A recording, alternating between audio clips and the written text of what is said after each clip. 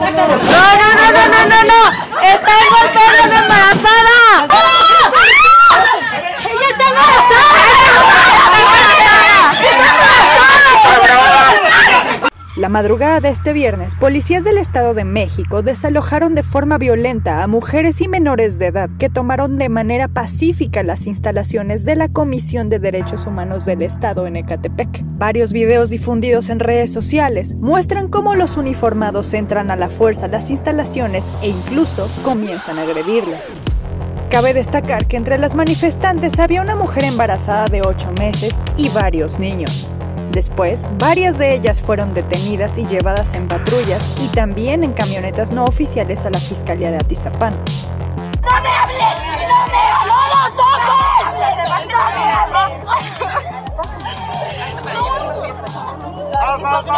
¡No me ¿Dónde están llevando vehículos no oficiales? Lugar a donde varias de sus compañeras asistieron para exigir su liberación. Sin embargo, una vez más fueron agredidas por los oficiales con piedras y hasta con sillas.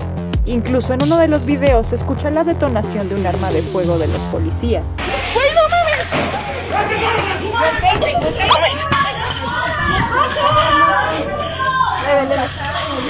Güey, ¿dónde estoy en vivo.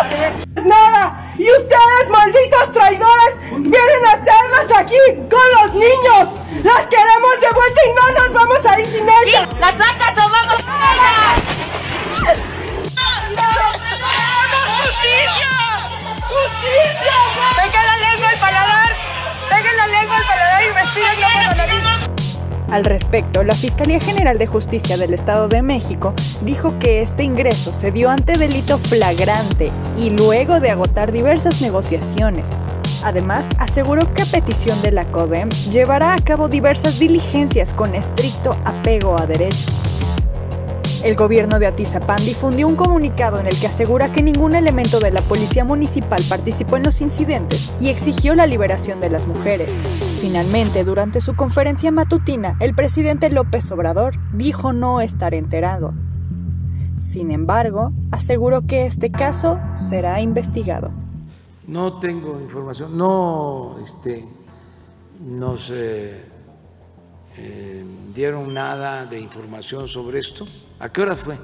Fue la madrugada, aproximadamente entre una y dos de la mañana. Vamos a pedir que informe y que se este, eh, investigue y que pues se proteja a las eh, mujeres. Sí, que porque no se les haga daño. Cabe mencionar que las mujeres ya fueron liberadas.